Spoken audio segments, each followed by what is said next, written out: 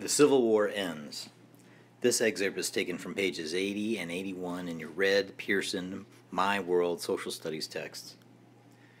By April 1865, the Confederate Army was hopelessly outnumbered by the Union Army.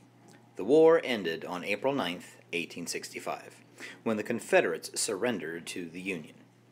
General Lee and General Grant met in Virginia at Appomattox Courthouse to officially end the fighting. When the war ended, the divided country had to begin reuniting. The cost of the war had been high. About 600,000 Americans from the North and South had died. Indiana's regiments had seen action in 308 battles. More than 197,000 Hoosiers had fought in the war. Of those, more than 25,000 died in battle or from wounds or disease.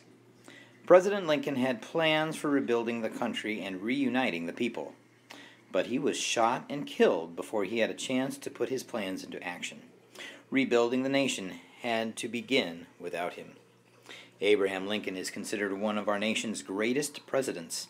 He is remembered for preserving the Union and for his role in ending slavery. In Indiana, Lincoln's supporter Morton is remembered as the Great War Governor for his efforts during the Civil War.